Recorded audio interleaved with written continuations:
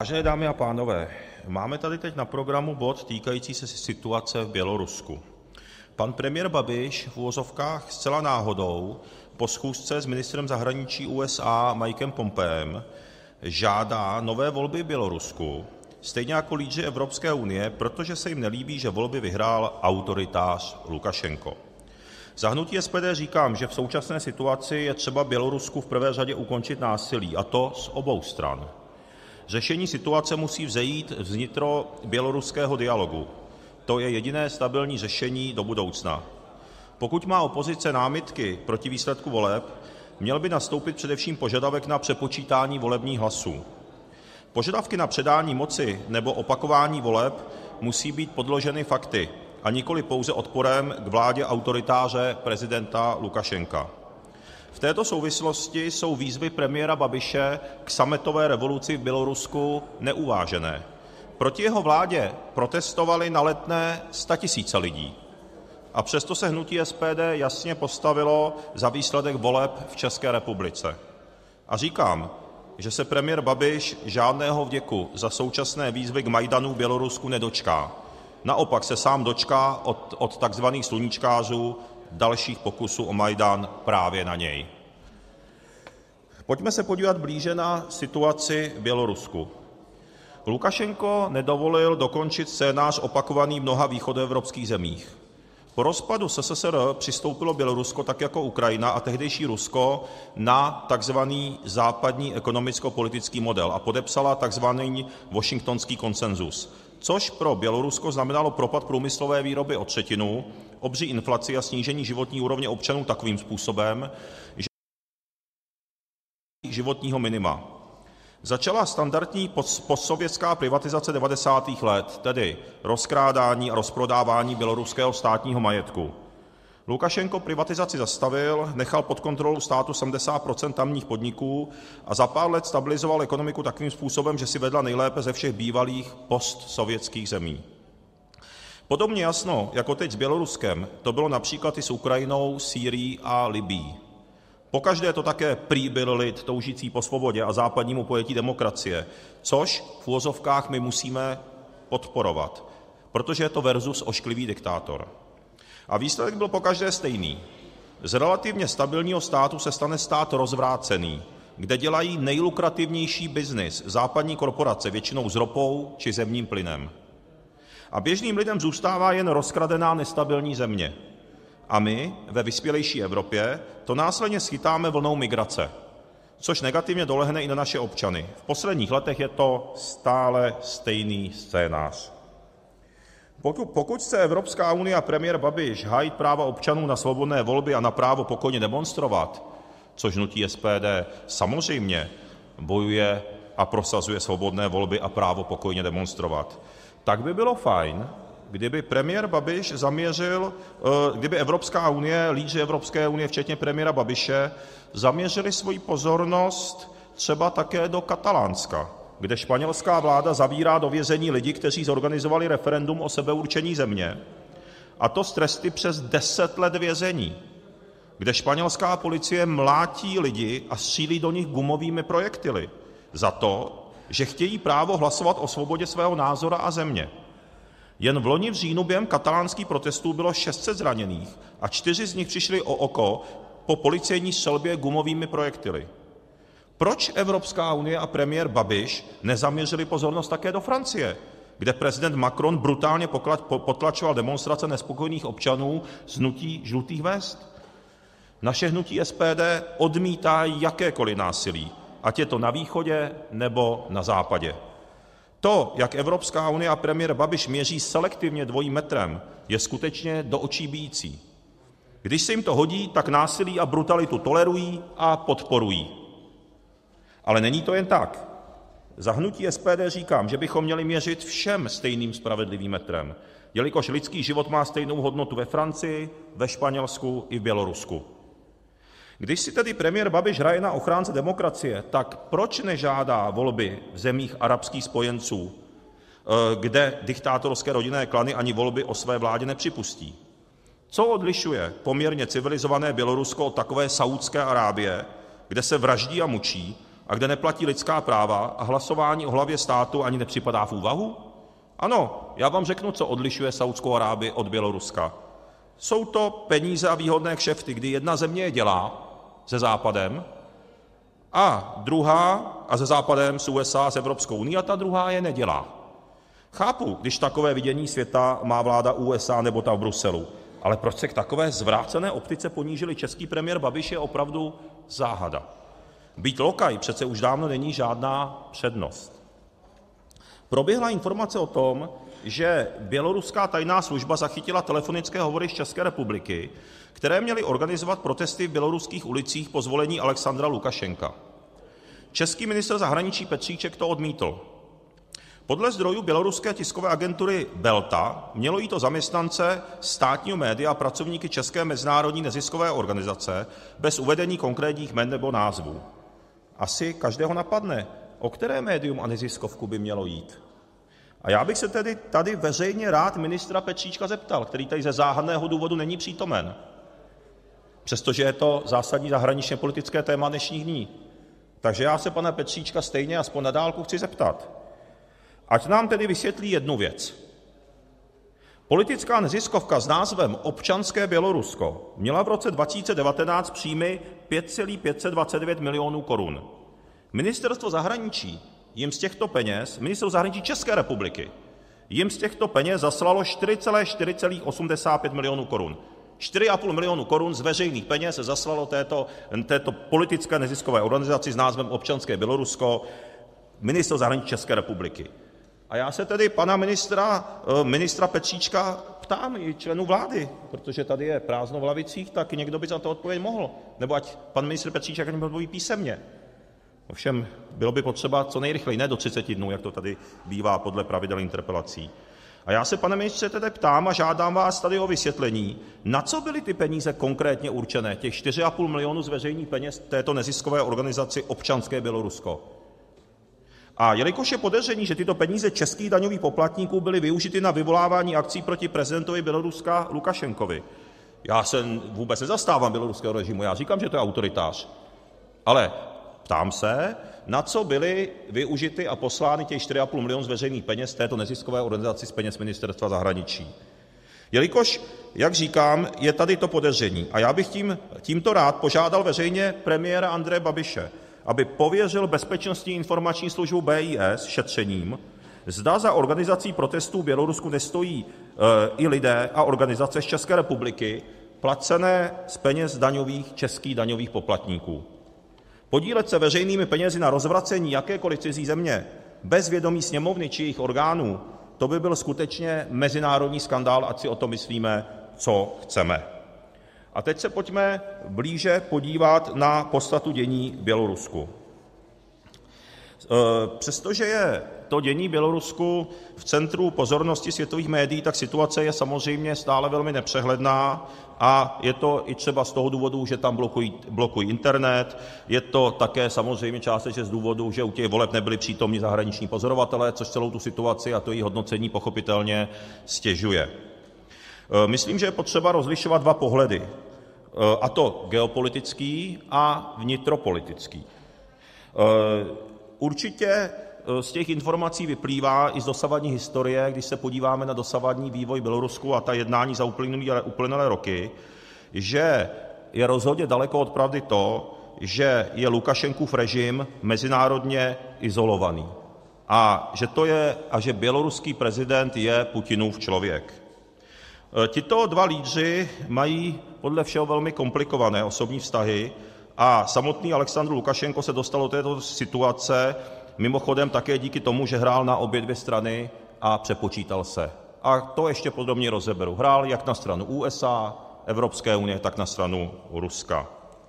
Bělorusko má s Ruskem podepsanou dohodu o užší spolupráci v oblasti ekonomiky a obrany od roku 1997 a je na Moskvě závislé na dodávkách ropy s nižšími cenami. Prezident Putin tlačil od svého nástupu k moci, tlačil prezidenta Lukašenka do užší integrace, čemuž se Lukašenko vzpíral, nebo se tomu podvoloval velmi pomalu a neochotně. Nové příležitosti mu ale dal ukrajinský Majdan prezidentovi Lukašenkovi. Lukašenkova úloha při zprostředkování minských dohod mu vylepšila mezinárodní pozici a běloruský prezident začal více vyjednávat se Západem. A do Minska jako na běžícím pásu ne že by byl izolovaný prezident Lukašenko, naopak tam jak na běžícím pásu začali jezdit západní politici. Přicestovali tam lídři Francie a Německa, představitelé Evropské komise tam zavítali dokonce několikrát ročně. A před dvěma lety při návštěvě eurokomisaře pro rozšíření Evropské unie navštívil Bělorusko Johannesa Hahna Lukašenko prohlásil, že Bělorusko je připravené sbližovat se s Evropskou unií a projevilo zájem o členství ve východním partnerství. Jako podmínku si ale Lukašenko kladl, aby vztahy mezi Evropskou unií a Běloruskem byly založené na ekonomickém základu. A v rámci toho přislíbil, že potom by bylo na programu dne, pro něj na programu dne, i reformování běloruského politického systému. V tom stejném okamžiku Lukašenko odložil podpis nových integračních dohod s Ruskem a zatím odmítl vybudování ruské vojenské základny na území Běloruska. A bystří pozorovatelé už tehdy se vyjadřovali, že Lukašenko blafuje a že tato slova jsou určená především pro Putina. Západ však na tuto hru přistoupil a po jistý čas utichla kritika běloruského režimu. Dokonce Západ Lukašenka pochválil za zmírnění tlaku na běloruskou opozici, cituji. Ale mnohem významnější změna se začala vyvíjet vůči Spojeným státům americkým. A vysocí státní úředníci USA si v posledních letech navštěvovali Bělorusko jako na běžícím pásu. Při návštěvě poradce amerického prezidenta pro národní bezpečnost Johna Boltona v Minsku koncem srpna loňského roku běloruský prezident Alexandr Lukašenko navrhl otevřít, cituji, novou kapitolu ve vztazích s USA. Bolton, proč to všechno říkám? Protože tady se popisuje nějakým způsobem ten režim, ale přitom s Lukašenkem kooperovali a jednali s ním, a k tomu se ještě dostanu, k té kooperaci, západní velmoci zcela běžně a jako na běžícím pásu. A je potřeba si uvědomit, co je výsledkem těchto kroků a proč SPD má stanovisko, jaké má, to znamená zdrženlivější. Takže Bolton ocenil při své návštěvě především možnost hovořit o regionální bezpečnosti v tom regionu Běloruska a Lukašenko mu kontroval prohlášením, že toto střetnutí považuje za historické. O tři týdny později náměstek amerického ministra zahraničních věcí pro politické záležitosti David Hale v Minsku slavnostně oznámil, že USA a Bělorusko se rozhodly vrátit na svoje ambasády po 11 letech velvyslance, takže docházelo tam k normalizaci vztahů. Situace se tedy vyvíjela pro Lukašenka velmi dobře. Začátkem února tohoto roku navštívil Minsk šéf americké diplomacie Mike Pompeo, který mimochodem navštívil, jak víme, minulý týden i Českou republiku, a prohlásil, že Spojené státy si přejí normalizovat vztahy s Běloruskem a že nechtějí odtrhnout ho od Ruska, a obratně nabídl Lukašenkovi lacinější ropu s tím, že Spojené státy jsou ochotné a schopné plně vykrýt běloruskou spotřebu ropy a zemního plynu. Lukašenko na to odpověděl Pompeovi, že období chladu se skončilo. A není to náhodou, protože toto vzájemné setkání a toto vzájemné prohlášení mezi USA a Běloruskem přišlo v okamžiku, kdy Moskva zvýšila svůj nátlak na Minsk s tím, že Bělorusko by mělo přijmout užší ekonomickou integraci s Ruskem, jestli chce nadále dostávat energetické zdroje za ruské domácí ceny. Proč to říkám? Protože tady se vytváří nějaká chiméra, jak je Lukašenko Putinův člověk. Ono to totiž zdaleka není tak jednoduché, je to mnohem složitější a komplikovanější, ta situace. A pořád mluvím o tom geopolitickém pohledu. A musím říci, a dále, a mimochodem Bělorusko rokovalo a rokuje o dodávkách ropy jak s Ázerbájdžánem, tak Saúdskou Arábií. To však nebylo jediné eso v rukávě Alexandra Lukašenka. Jeden z důležitých aspektů, o kterých se příliš nehovoří, je stále užší napojení běloruského režimu na Čínu. Lukašenko využil situaci a vojenskopolitická nestabilita na Ukrajině totiž donutila Čínu, aby se pohlédl po řekl bych předvídatelnějším a stabilnějším partnerovi v regionu.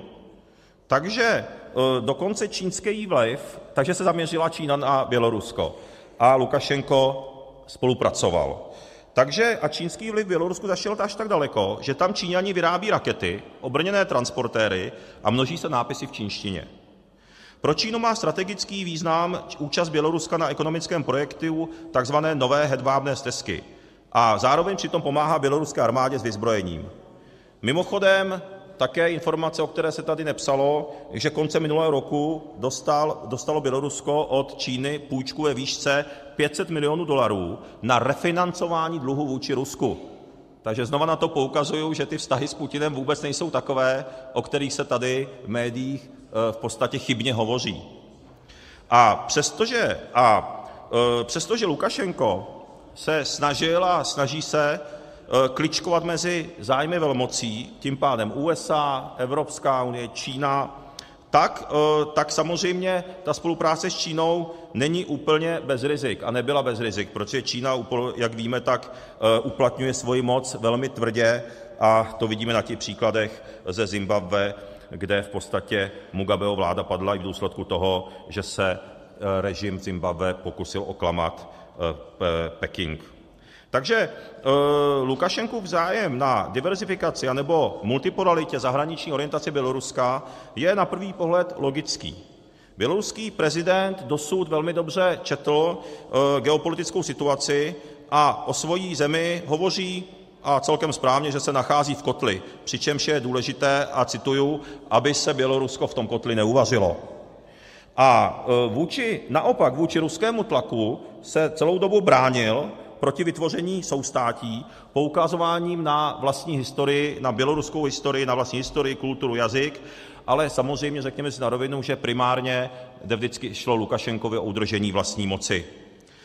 Snívá o tom, jak je taky ze různých záznamů patrné, že chce vytvořit systém takzvané dědičné demokracie, to znamená, která se uplatňuje v některých zemích Střední Asie, a chtěl by, aby budou podle všeho by chtěl, aby ty následné volby poté, co by Lukašenko odešel, vyhrál jeho syn. Takže to, že se jedná o autoritativní režim, o tom tady nepochybujeme, ale postupně se Lukašenko začíná právě stávat obětí svojí vlastní mocichtivosti. Ale tady právě se přepočítal a to je dnešní problém, který tady v Bělorusku v podstatě probíhá, protože v dnešním světě se těžko může země jako Bělorusko zůstat neutrální. Musí v tom regionu, kde je Ukrajina, vedle Rusko a hnedka sousedství Evropské unie, a nemůže donekonečna kličkovat mezi velmocemi. Takže Lukašenko přecenil svoje křehké vztahy se západními zeměmi a už pár dní po současné vlně protestů pochopil, že jeho jedinou zárukou je v tuto chvíli Rusko. Takže cena za tento pokorný návrat pod ruského medvěda samozřejmě může být velmi vysoká. Naznačuje to ostatně i první reakce Kremlu, protože to opět bych si tady dovolil říct vlastní pohled na tu interpretaci toho telefonátu s Putinem, protože když jsme se trošku podrobněji podívali na to zákulisí, tak Putin to podle všeho dal Lukašenkovi pořádně sežrat. Čtyři dny po těch volbách nereagoval, celé čtyři dny, na telefonáty Lukašenka a ještě ve čtvrtek Kreml lakonicky oznámil, že střetnutí s běloruským vůdcem Alexandrem Lukašenkem není vlastně vůbec v harmonogramu prezidenta Vladimíra Putina. Přitom den předtím telefonoval Putin o situaci v Bělorusku s francouzským prezidentem Macronem.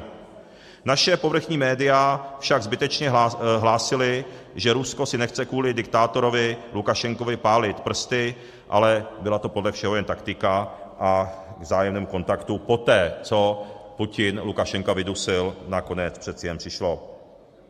Takže tady se teď zdá, že zlomem v celé situaci, v celém vývoji běloruské krize byl ten sobotní telefonát Alexandra Lukašenka s Vladimírem Putinem. Moskva si dala záležet, aby v oficiálním prohlášení zdůraznila, že telefonický hovor proběhl z iniciativy běloruské strany, no a poté Kreml vlastně jenom suše konstatoval, že všechny vzniklé problémy se vyřeší, brzy vyřeší, ale Lukašenko tato slova interpretoval jinak, interpretoval je už po svém, že mu Putin přislíbil pomoc se zajištěním bezpečnosti jeho země. Moskva ale tato slova nejenom nekomentovala, ani je nepotvrdila, takže teď se v podstatě čeká, jak zareaguje Putin.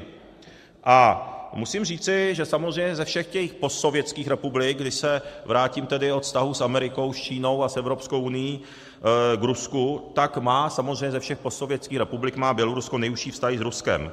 Je součástí nejen Moskvou kontrolované Euroasijské ekonomické unie, ale také organizace Smlouvy o kolektivní bezpečnosti, které je generálním tajemníkem v současnosti bývalý šéf Lukašenkovy bezpečnostní rady generálmajor Stanislav Zas.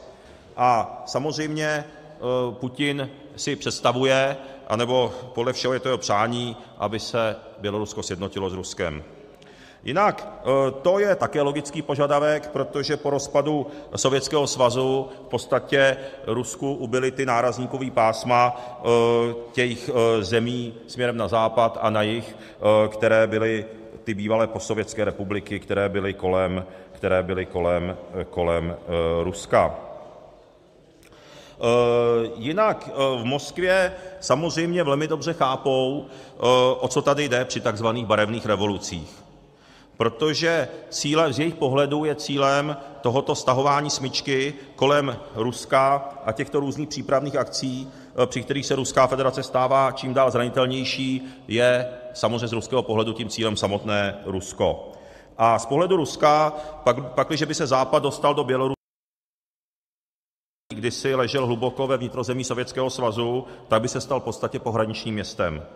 Na druhé straně, kdyby Rusko převzalo kontrolu nad Běloruskem, například prostřednictvím Lukašenkem vícekrát odmítnuté ruské vojenské základny v okolí Brestu, tak by Moskva byla schopná na západní hranici se zásadním způsobem přiblížit Polsku. Americká vojska ale už na východní hranici Polska jsou a události posledních dní bezpochyby zúží manévrovací prostor Lukašenkovi, který doteď částečně odolával Putinovu tlaku, a i v souvislosti s tím běloruský prezident v posledních letech vícekrát zdůraznil, že NATO nevidí jako hrozbu. Jistě, byla to součást jeho propagandistického sbližování s Západem, ale tento výrok má i racionální jádro, a to, že na rozdíl od Ukrajiny Američané nechtějí začlenit Bělorusko do Severoatlantické aliance, ale záleží jim spíše na jeho neutralitě.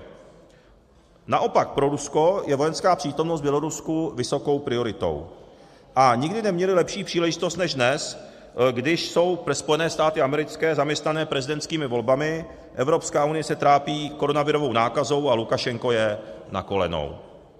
Pojďme však teď k tomu vnitropolitickému dění a tomu komentáři, to znamená k režimu samotného Alexandra Lukašenka. Nemá asi smysl polemizovat s tím, že ten režim, že Lukašenko je autoritář.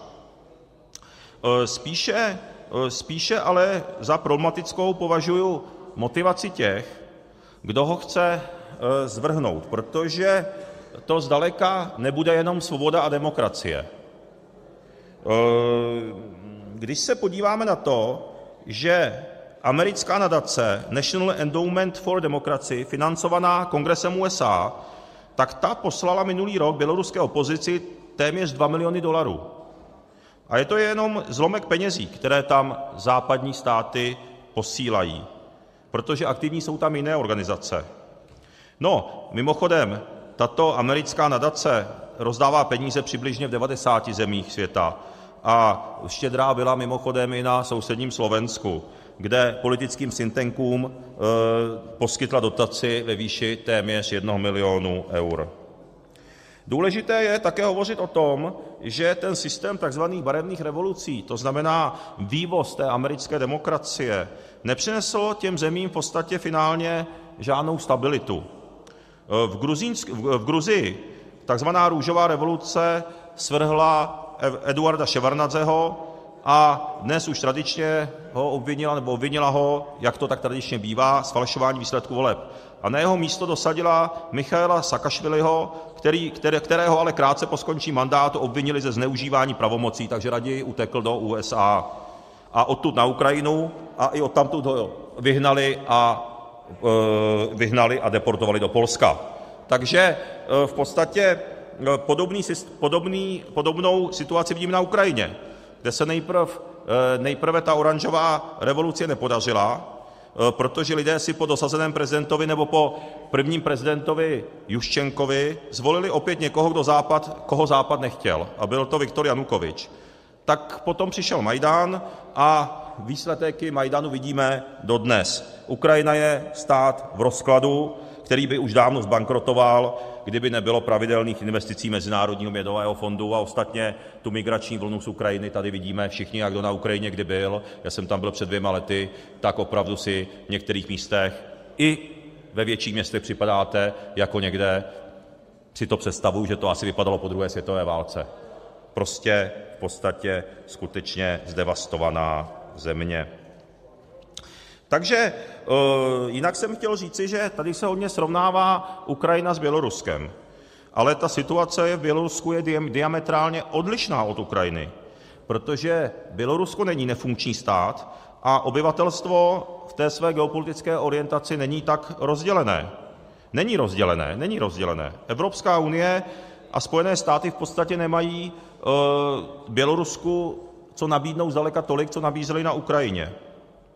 Proto opoziční kandidáti před volbami, které proběhly, které letos proběhly nedávno, tak v podstatě nikdo nezpochybňoval z nich vztahy s Ruskem a něco jako prounijní orientace nebylo ani hlavním volebním tématem.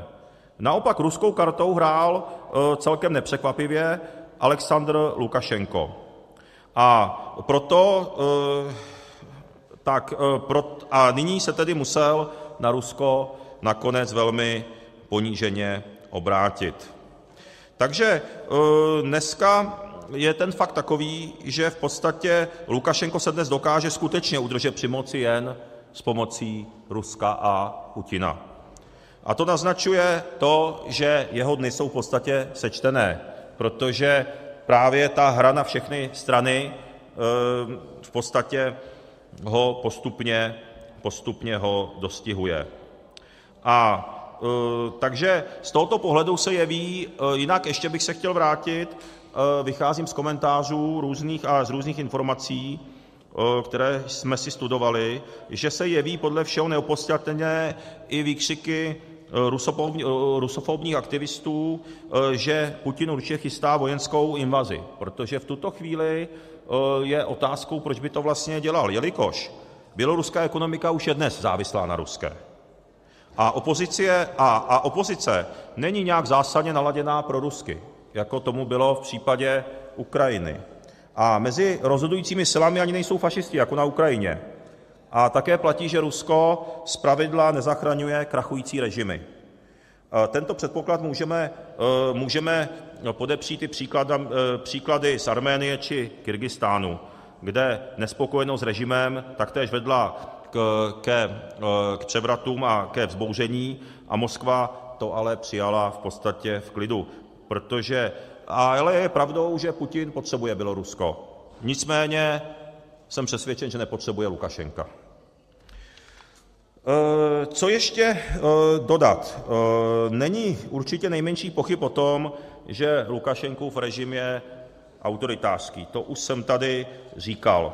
Takže to byla taková sonda do toho pohledu, do té historie, co vlastně předchází těm dnešním problémům, které jsou v Bělorusku.